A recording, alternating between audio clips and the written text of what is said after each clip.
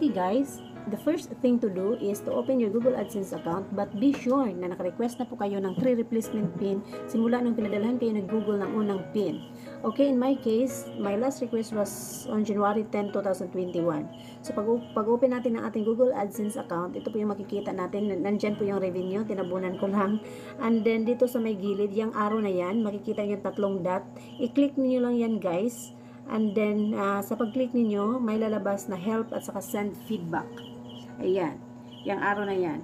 So, ako po, kiniklik ko direkta yung uh, help.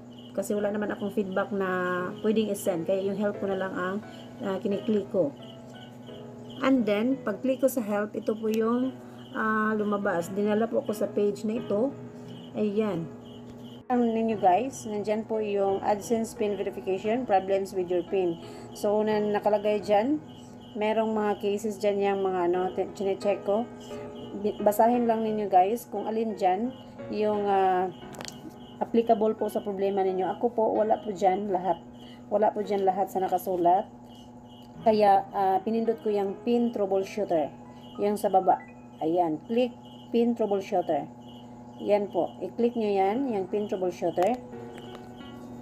Then, dadalhin kayo sa PIDs na yan. Personal Identification Number, PIN troubleshooter. Ayan. Merong mga question dyan. Question and answer po tayo, yes or no. So, the question is, are your earnings greater than that verification threshold?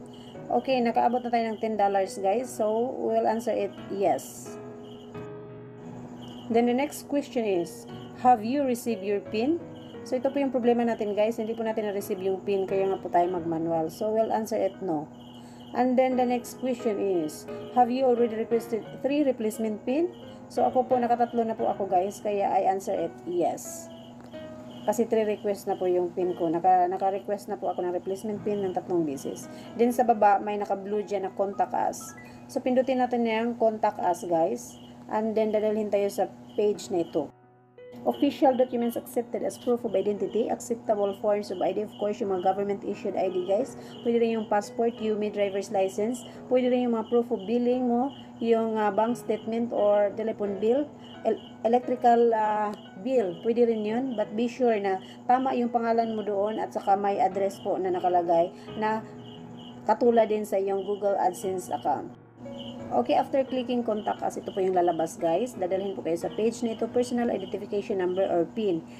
Fill up with your name, your email address, and then your AdSense publisher ID. Be careful po yung publisher ID niyo po. Kung hindi niyo alam, pindutin niyo lang yung question mark at and then dadalhin po kayo sa inyong Google AdSense setting. Nandun po yung publisher ID niyo. Uh, kopyahin niyo lang lahat lahat-lahat na nakalagay doon at i-paste niyo dyan. And now, the very, very purpose of this video is submitting an attachment, guys. Ito na po, ilagay na po natin yung mga valid IDs natin, yung picture na yan, at saka yung mga proof of billing na nakasaad doon yung pangalan natin, at saka yung address. Ang nakaganda po ay pwede po tayong mag-attach ng marami. So, pwede po tayong mag-attach ng multiple attachment, guys. Ako po yung passport, nilagay ko yung pag-ibig ID ko, at saka yung proof of billing, yung sa electricity, and then, uh, sulat na galing sa PSA Service na nakalagay doon yung pangalan ko. Ayan guys. So, after submitting, uh, dadalhin kayo sa page na ito. And uh, while you are in this page, ayan, be sure po na in-acknowledge ni Google yung transaction mo. And then, uh, after 12 hours, ay makakatanggap ka ng notification kung ito po ay approve o hindi. Yung sa akin, approve talaga siya. And then, nakalagay dito, check your recent payments. Okay, success guys. Na-receive ko na agad-agad. After 12 hours, na-receive ko agad-agad yung first salary ko. Direkta na po siya sa aking BPI account. Kasi yun po ang naka-enroll doon sa Google AdSense payment details. So, thank you for watching guys. Sana po may natutunan kayo sa video na ito.